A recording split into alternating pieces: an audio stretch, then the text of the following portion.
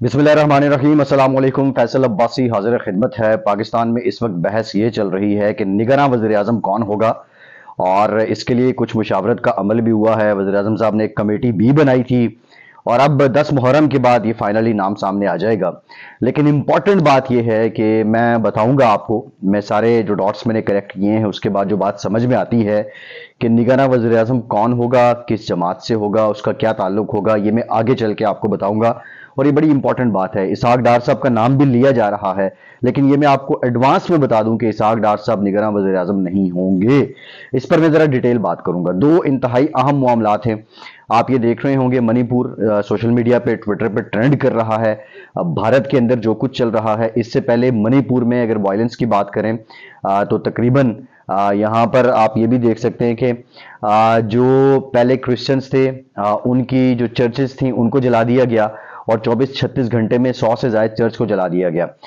उसके बाद जो हम ये देख रहे हैं कि अब ट्राइब्स के दरमियान एक मामला चल रहा है, लेकिन बुनियादी तौर पे जो महात्मा गांधी थे, महात्मा गांधी ने जब हिंदुस्तान का आइन तरतीब देना था तो उन्होंने बहुत मुशावरत की।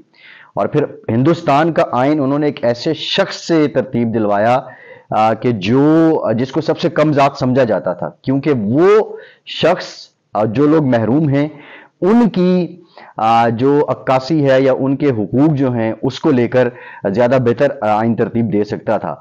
महात्मा गांधी का फलसफा था, सेकुलर इंडिया का। सेकुलर वो मुल्क होता है, वैसे कोई सेकुलर कोई बुरा लफ्ज नहीं है।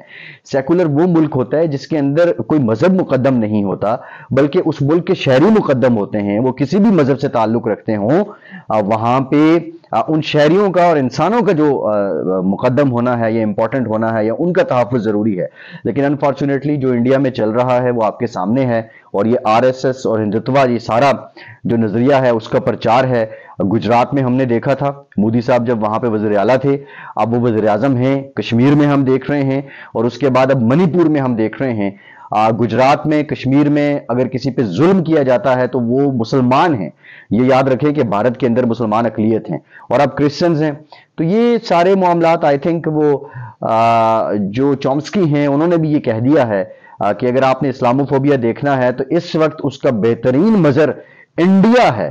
तो अब ये आवाज़ें भी उठ रही हैं, लेकिन ये ज़ाहिर है, वो एक नज़रिए पे, आरएसएस के मामले पे लेके आना चाह रहे हैं उसको। वो चाह रहे हैं कि ये सिर्फ़ हिंदुस्तान हिंदुओं का रहेगा, लेकिन अब सवाल ये है कि जब हिंदुओं का रहेगा, जब इतनी तफरीक है तो फिर मुसलमान कहाँ जाएँगे? क्या वो फिर किसी लहदा मुल्क का मुतालबा करेंगे? क्रिश्चियंस कहाँ जाएँगे? क्या वो फिर किसी लहदा मुल्क का मुतालबा करेंगे? इतनी बड़ी तादाद में लोग माइग्रेट तो कर नहीं सकते हैं। आ, दूसरी अहम डेवलपमेंट एक और ये जिसमें मैं बात करना चाह रहा था हम ये देख रहे हैं। एक सोची समझी सोच के मुताबिक एक बयानिया बिल्ड किया जा रहा है कि पाकिस्तान के अंदर जो फौज है पाकिस्तान के अंदर जो इंटेलिजेंस एजेंसियाँ हैं पाकिस्तान के अंदर जो पुलिस के लोग हैं ये सिर्फ़ इसी चक्कर में लगे हुए हैं कि किसी न किसी तरह पीटीआई के लोगों की पकड़ दकड़ की जाए और ये कुछ भी नहीं कर रहे हैं। आ, हम गुलजार शंबे से लेके बाकी जितने लोग मुख्तलिफ़ कलदम तंजीमों के जो पकड़े गए हैं या जिनको मारा गया है ये ऐसा नहीं होता कि आप बैठे और आपने जाके फायर कर दिया। इसके लिए पूरे ऑपरेशन होते हैं इंटेलिजेंस बेस्ड ऑपरेशन होते हैं बाजोकात मुल्क में होते हैं बाजोकात चार मुल्कों को इंगेज करना पड़ता है बाजोकात बहुत ज़्यादा इंटरनेशनल लेवल पे होते हैं। मैं आपसे आपको सजेस्ट करूँगा कि कुछ फिल्म्स हैं।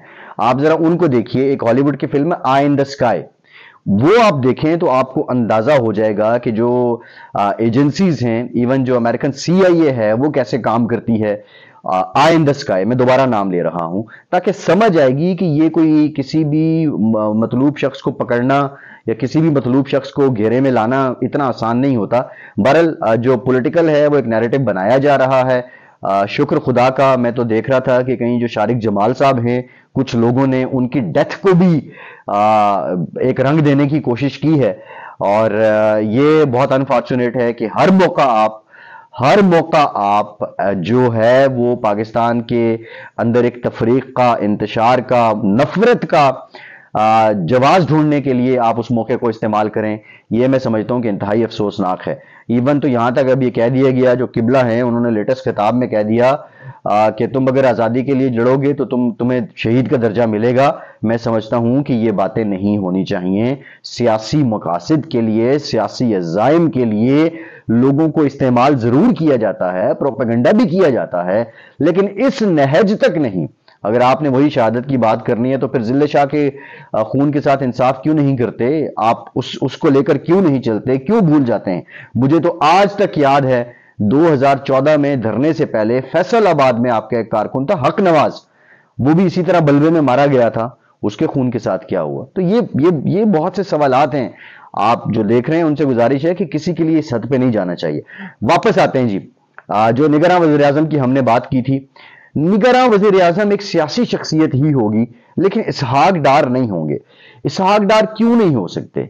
इसहाक डार मैं समझता हूँ कि शायद इसलिए नहीं हो सकते कि अगर इसहाक डार हो जाएँगे तो फिर जो अपोजिशन है, उसको एक जवाब मिलेगा कि पहले भी शहबाज शरीफ वजी आज़म थे, नून लीग मेजर इतिहादी थी तो अब इसहाक डार आ गए तो फ़र्क क्या पड़ा है? वो तो ऑलरेडी नून लीग के सेनेटर हैं। अगर वो सेनेट की निश्चित छोड़ भी दें, मुझे नहीं पता कि उस क्राइटेरिया के लिए क्या ज़रूरी है छोड़ना, लेकिन अगर छोड़ भी दें तो फिर भी उनसे टैग तो नून लीग का नहीं हटेगा। और सब समझते हैं कि शरीफ खानदान के मुस्लिम लीग नून में और बिलखसूस नवाज़ शरीफ और मरियम नवाज़ साहिबा के करीब जितने इसहाक डार हैं, मौजूदा काबीना में इतना कोई भी नहीं है। इसहाक डार साहब नहीं होंगे। लेकिन खबर या इतला मेरी यह है कि एक सबक वज़ीर आज़म एक और सबक वज़ीर आज़म निगरा वज़ीर आज़म बन सकता है। अब वो आप सोच लें कि वो कौन हो सकता है। एक और सबक वज़ीर आज़म निगरा वज़ीर आज़म बन सकता है और उसके चांसेस भी कवी हैं।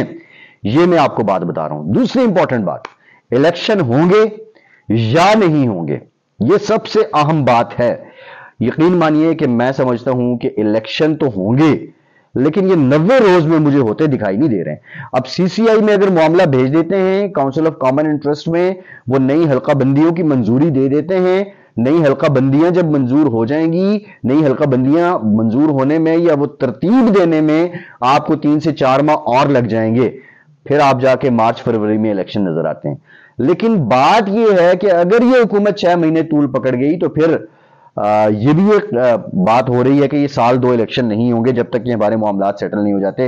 लेकिन पीपल्स पार्टी के लोगों से जब मेरी बात हुई है तो उन्होंने कहा कि अगर सीसीआई इसको मंजूर कर देती है तो फिर हल्का बंदियाँ ज़रूरी हैं। दैट मीन्स कि पीपल्स पार्टी भी पार्शली इस बात पे कहीं ना कहीं जाके एग्री है कि मार्च फरवरी तक इलेक्शन हो जाए। इस वक्त अगर कोई चाहता है नब्बे रोज में इलेक्शन हो तो वो सिर्फ़ नवाज़ शरीफ है। अब नवाज़ शरीफ साहब को कैसे राम करना है, ये तो खैर वक्त ही बताएगा। लेकिन नवाज़ शरीफ चाहते हैं कि तीन महीने में इलेक्शन हो जाए। ये बड़ी इंपॉर्टेंट बात है। दूसरी अहम बात जो मैं आपके साथ शेयर करने जा रहा हूँ कि जो आईपीपी है, इस्तेकाम पाकिस्तान पार्टी या परवेज खटक साहब की जो जमात है पीटीए पार्लियामेंटेरियंस वो भी नहीं चाहते कि नवे दिन में इलेक्शन हो। क्योंकि ये नौमौलूद जमाते हैं, अभी तक इन्होंने कोई जलसा तक नहीं किया, कोई कॉर्नर मीटिंग तक नहीं की है। इसलिए वो चाहते हैं कि इलेक्शन थोड़ा डिले हो, उनको कोई जवाब मिल जाए, उनको टाइम मिल जाए, उनकी तंजीम बन जाए। सो अब भी सिर्फ़ और सिर्फ़ एक शख्स चाहता है कि इलेक्शन हो और दूसरे जो हैं वो पीटीआई चेयरमैन हैं। लेकिन पीटीआई चेयरमैन पे जो तलवारें लटक रही हैं, वो बड़ी इंपॉर्टेंट है। पीटीआई चेयरमैन पे तोशा खाना की तलवार। साइफर का केस बनता कैसे है? किस नोयत का केस होगा, ये डिपेंड करता है। और फिर अलकादिर ट्रस्ट केस लेकिन जो सबसे इनमें ना देखा जाए तो तोशा खाना एक बड़ी अलार्मिंग सिचुएशन है। बहरल जो मेरी समझ में बात आ रही है इसहाकडार वज़ीर आज़म नहीं होंगे। निगरा जो हुकूमत है, उसको तूल दिया जा सकता है। इस पर सारी जमातें मुतफिक हैं, माँ सिवाय नवाज़ शरीफ के और पीटीए चेयरमैन के। और तीसरी जो मैंने आपसे बात की है कि कोई सबक वजर आज़म ही निगरान वज़ीर अजम हो सकता है। सो इन बातों को याद रखिएगा, फैसल अब्बासी को इजाज़त दीजिए।